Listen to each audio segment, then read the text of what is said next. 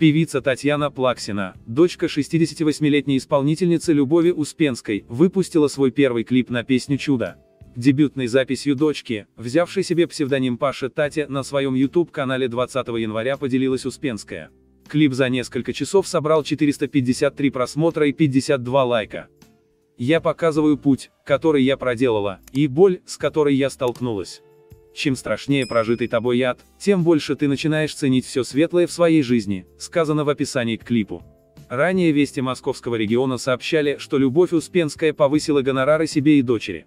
Правда, артистка уточнила, что доходы в этом случае все равно будут невелики, так как из-за кризиса она снизила расценки. После этой новости певица сообщила поклонникам о еще одном предстоящем событии в своей жизни.